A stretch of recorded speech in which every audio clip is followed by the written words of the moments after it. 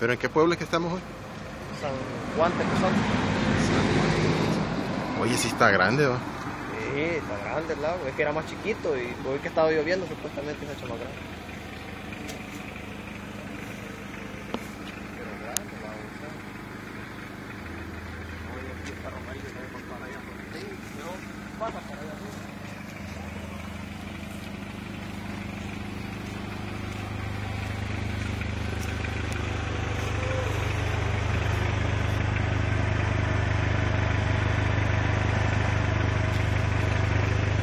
Eh.